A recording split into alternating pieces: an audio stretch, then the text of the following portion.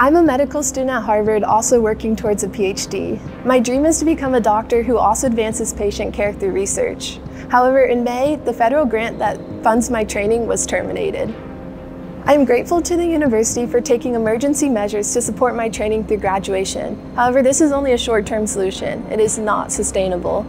Federal grants for MD PhD training help prepare people to become both physicians and researchers. Physician scientists are uniquely positioned to take problems that they see in the clinic, bring them back to the lab to devise solutions, and then translate that back to the clinic to improve patient lives. My goal ultimately is to contribute to a world in which cancer is no longer a devastating diagnosis for the millions of Americans who receive it each year. I'm particularly interested in cancer immunology and how we can train a person's immune system to recognize and attack their unique cancer.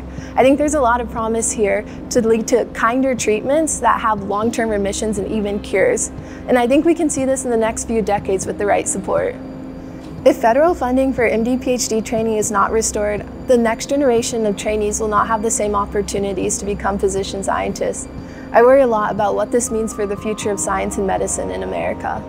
My two biggest concerns are that one, we're going to lose a lot of young Americans who would have made great contributions to science and medicine, and two, that the scientific trainees who choose to stay are not going to be supported to take the risks that lead to the biggest innovations in science and medicine.